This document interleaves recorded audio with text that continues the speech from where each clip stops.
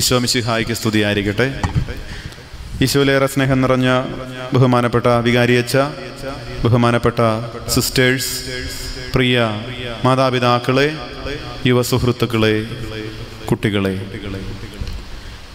സംയുക്തമായി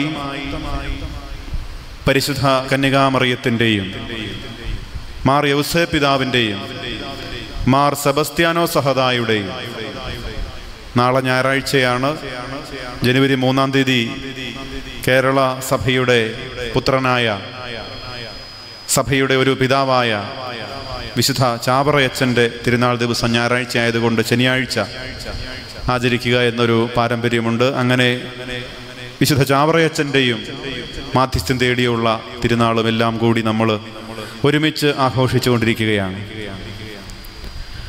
വളരെ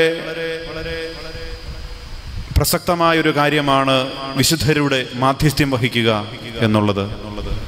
പ്രത്യേകിച്ച് മനുഷ്യന് അസാധ്യമായ കാര്യങ്ങളിൽ ദൈവത്തിന്റെ സഹായം തേടുക ദൈവത്തിന് ഒന്നും അസാധ്യമല്ല. ഈശോയുടെ അടുക്കലേക്ക് നമ്മളെപ്പോലെ ദൈവത്തിൽ ആശ്രയിച്ച് ദൈവം മാത്രമാണ് രക്ഷ എന്ന് ആഗ്രഹിച്ച് വേറെ ആരിലും രക്ഷയില്ല. അങ്ങനെയാണ് നമ്മൾ കുർബാനയ്ക്ക് വരുന്നത്.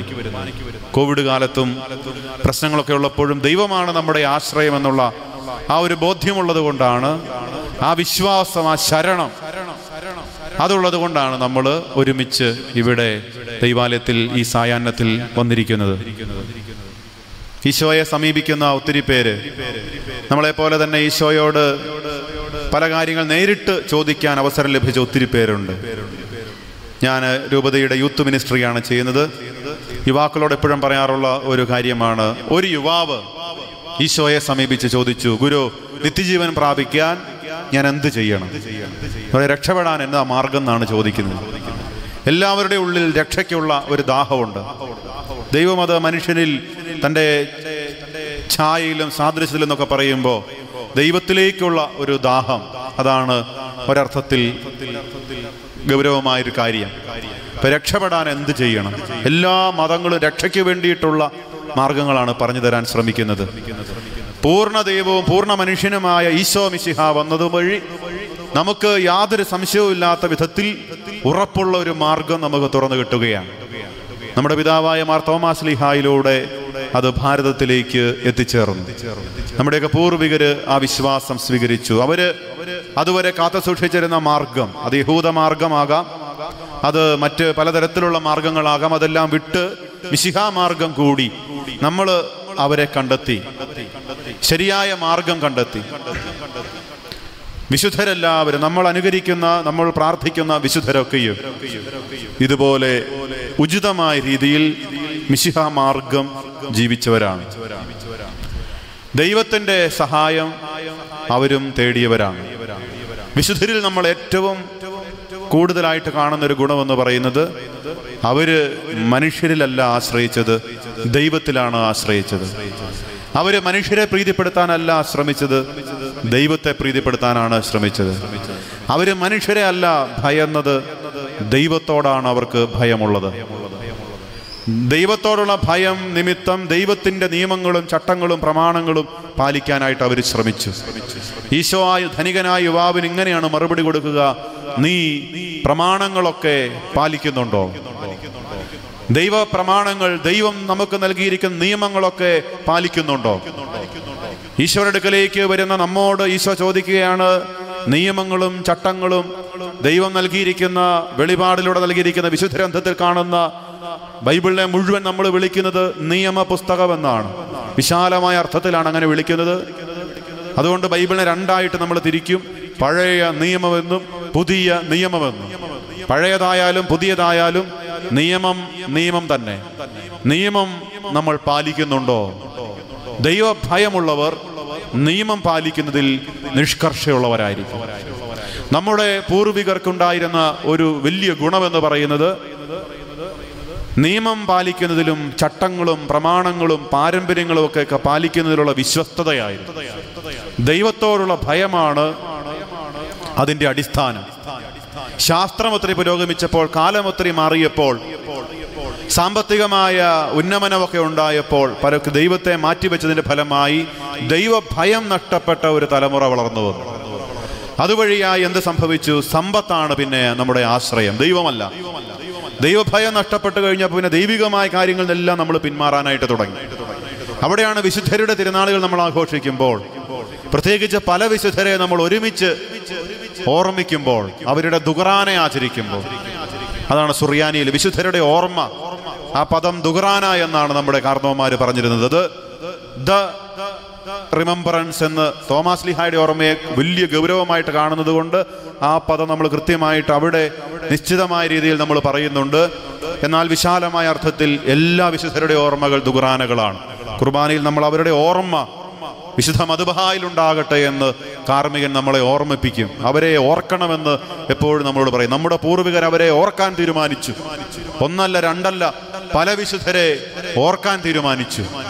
ഓർമ്മ ഓർമ്മകളാണ് ശക്തമായിട്ട് നമുക്കുണ്ടാകേണ്ടത്. ദൈവത്തിന്റെ നിയമങ്ങൾ നമ്മൾ ഓർക്കണം. മറക്കരുത്. അവഗണിക്കരുത്. വിശുദ്ധരെ നമ്മൾ ഓർക്കണം. മറക്കരുത്. അവഗണിക്കരുത്. ചരിത്രം നമ്മൾ ഓർക്കണം. മറക്കരുത്. അവഗണിക്കരുത്. വിശുദ്ധ ഗ്രന്ഥത്തിൽ തന്നെ ശക്തമായ താക്കീതുകൾ നൽകുന്നുണ്ട്. നിങ്ങൾ ഓർക്കണം. നിങ്ങൾക്ക് ദൈവം നല്ലൊരു കാലം നൽകിയിരുന്നു എന്ന് ഓർക്കണം.